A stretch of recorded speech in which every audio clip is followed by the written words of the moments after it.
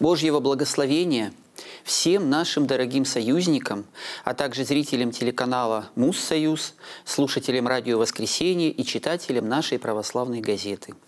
Мы продолжаем нашу акцию «Будем жить», и я продолжаю пытаться активизировать всех вас, наших зрителей, слушателей, читателей в поддержке просветительской миссии православных СМИ. Напомню, что все они работают исключительно на ваши перечисления. Это самые настоящие народные проекты, и в этом их уникальность. Обычные модели финансирования средств массовой информации подразумевают наличие инвесторов, преследующих свои какие-то цели, политические или коммерческие, наличие коммерческой рекламы, ну или обязательную абонентскую плату за доступ к просмотру. У нас ничего этого нет. И теле, и радиоканал финансируются исключительно добровольной платой или добровольными взносами, или пожертвованиями, можно называть как угодно, но в любом случае это единственный источник финансирования всех проектов. Обычно мы рекомендуем вам жертвовать 100 рублей в месяц, чтобы это было не тяжело для самого скромного бюджета. Но, конечно, бюджет у всех разный, поэтому мы благодарны за любую поддержку. И за рубль, и за тысячу, и, конечно, более рублей, кому сколько по силам.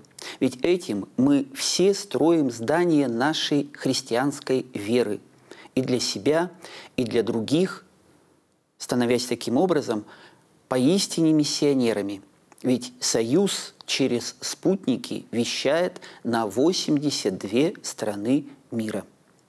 Все это мы неоднократно говорили, даже многократно, но у нас появляются новые зрители, слушатели, читатели, поэтому для того, чтобы и им было понятно, в чем суть этих обращений, мы снова вкратце это все повторяем в том числе и о структуре наших расходов на 20 миллионов рублей в месяц. Столько мы должны, подчеркиваю, ежемесячно платить операторам связи за вещание канала со спутников, а именно оттуда в большинстве случаев он попадает и в кабельные сети.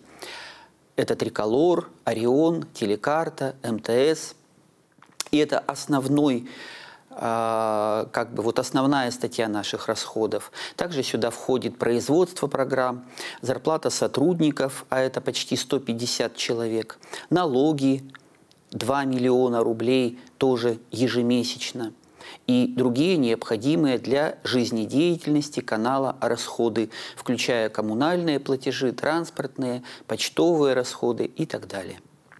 Друзья, призываю каждого из вас поддерживать православное вещание любым из возможных способов. Все они указаны в бегущей строке, в интернете, озвучиваются в эфире, публикуются в православной газете, в любом приемлемом для вас размере. Главное, не будьте теплохладными, не будьте равнодушными, чтобы мы могли продолжать нести по всему миру весть о том, что над нами есть Бог, как жить по Его заповедям и как войти в Царствие Небесное. Спасибо и Божьего всем благословения.